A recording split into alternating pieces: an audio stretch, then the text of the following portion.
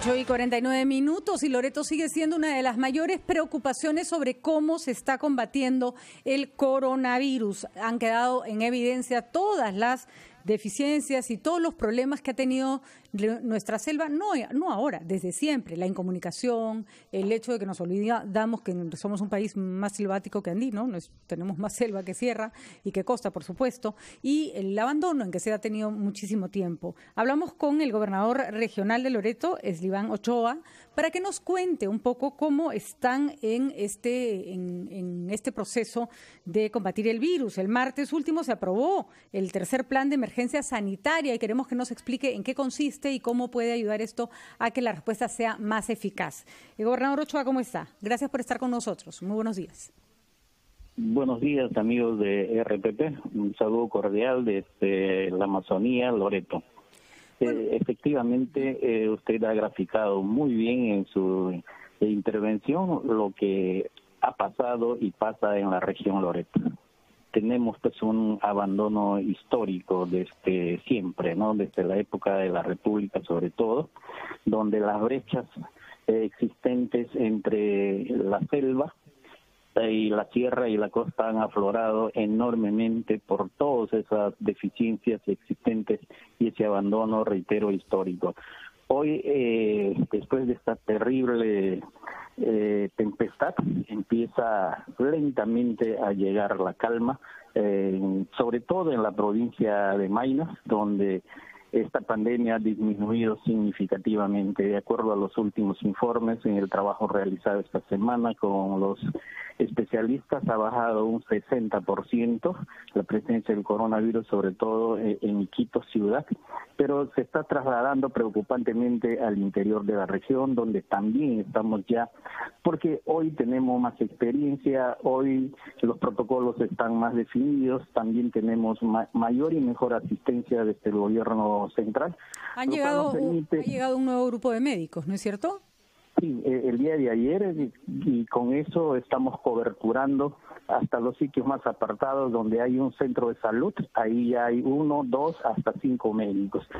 Eh, incluso el día de hoy acabamos de despedir a un grupo de médicos que están yendo a Caballo Cocha, a la ciudad fronteriza, para trasladarse también hasta Islandia, que es la, el distrito límite con Brasil, y de igual manera Santa Rosa, que es el, centro poblado límite con Colombia.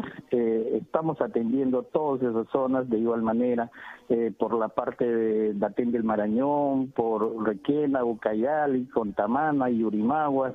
Eh, todos esos estamos atendiendo ya con grupos de médicos, de enfermeras, de técnicos, eh, laboratoristas para trabajar en una respuesta rápida a esta pandemia en el mismo lugar de los hechos.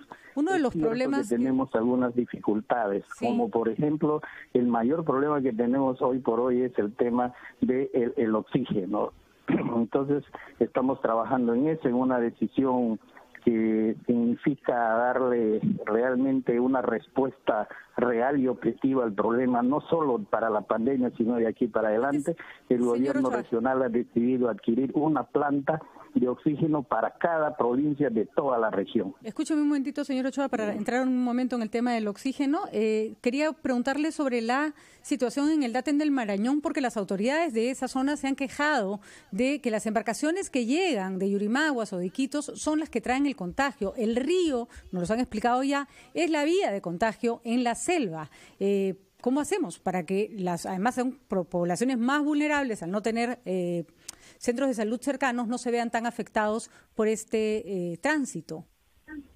Sí, eh, justo hace unos minutos acabo de coordinar y conversar con eh, las autoridades de Datén del Marañón y en una decisión particular, pero respaldado particularmente por nosotros, ellos han decidido cerrar el ingreso a una hora y media abajo de San Lorenzo, que es la ciudad capital. No está pasando en estos momentos ningún tipo de embarcación, como usted ha señalado.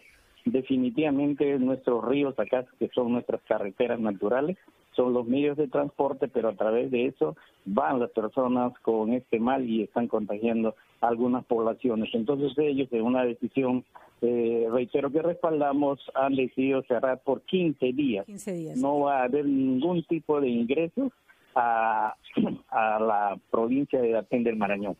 Muy bien, eso es una buena noticia. Gobernador Ochoa, usted ha dicho que piensan instalar una planta de oxígeno en cada una de las provincias loretanas.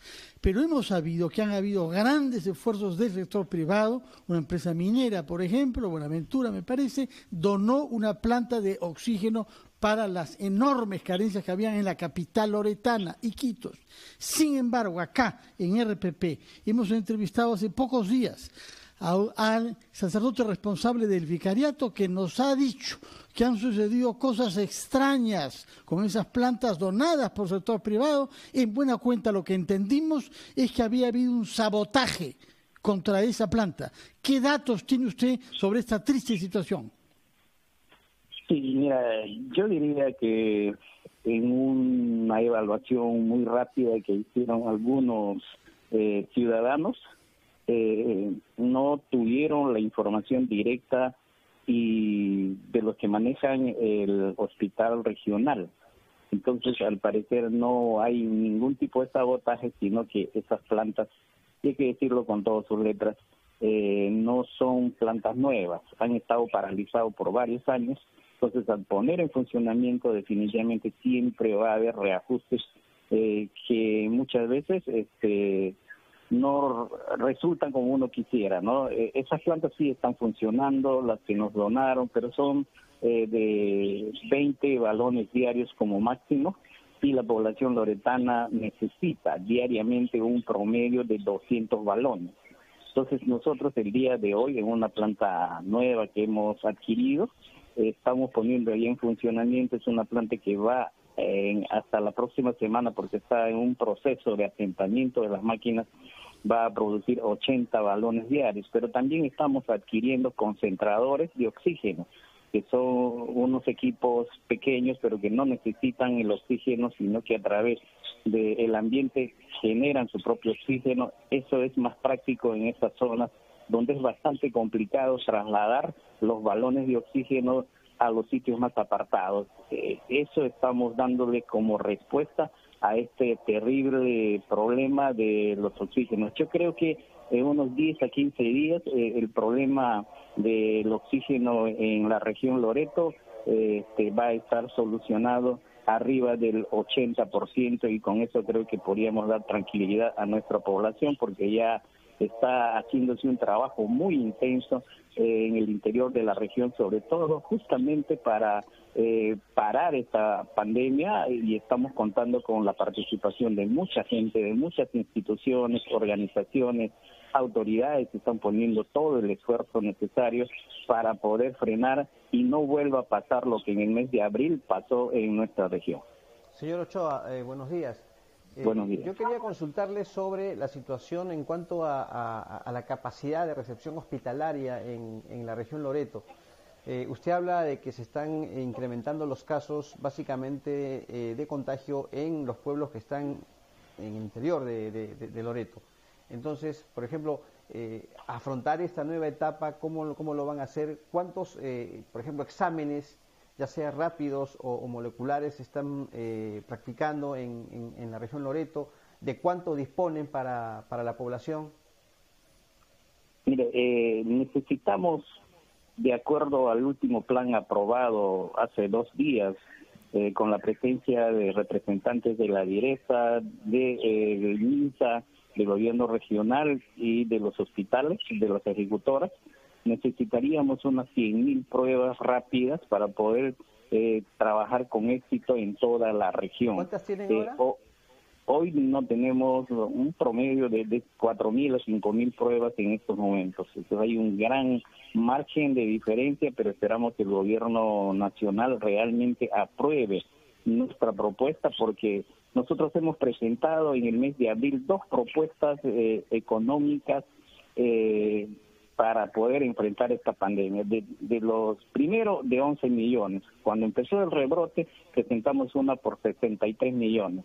Hoy esta lo estamos presentando por 67 millones de soles que necesitaríamos para eh, dar eh, un gran golpe a ese terrible mal.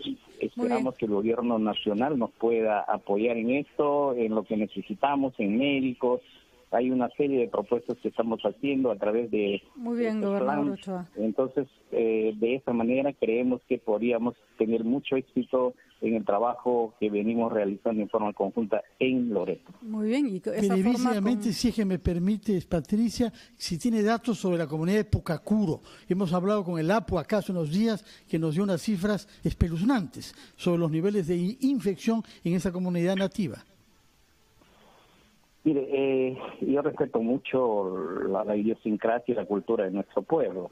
Nosotros estamos recibiendo muchas informaciones y no es cierto que eso esté sucediendo. En ninguna de las comunidades indígenas, a Dios gracias, ha sucedido algo grave y terrible. Hay, como en todas partes, algunas personas que están contagiadas, pero estamos trabajando en eso. No hay en ningún tipo de mortandad en ninguna comunidad indígena y de eso tenemos muchísimo cuidado.